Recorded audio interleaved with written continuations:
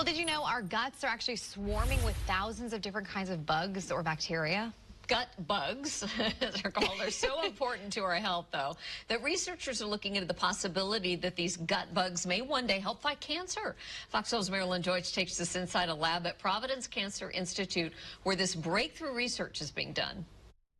We've all heard that saying, trust your gut. Well, Providence cancer researchers are taking that adage seriously and into the lab, trying to see if those microscopic organisms, the gut bugs in your digestive system, can one day be used to fight cancer. Researchers already know those gut bugs help our bodies attack harmful invaders such as cancer. The microbes that live in our gut um, are an important part of our immune response, and it's been shown that the kinds of microbes you have can actually affect your response to cancer therapies, particularly immunotherapy.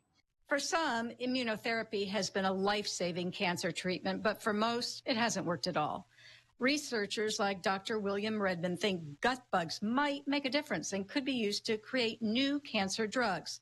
Yes, bugs as drugs could be a key to fighting cancer. We think this approach actually could make them work better in, in a broader range of patients for, for more folks, really. Dr. Redmond will be conducting lab studies on cancerous tumors thanks to a grant from the National Cancer Institute. The results may go beyond treating cancer. We know that the bugs in your gut affect inflammation.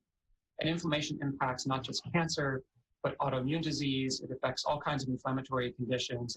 So this cancer research done in Portland could one day also help patients living with diseases such as MS and rheumatoid arthritis. Marilyn Deutsch, Good Day Oregon. For more information on cancer research, go to the Providence link on kptv.com. Let's take a look now.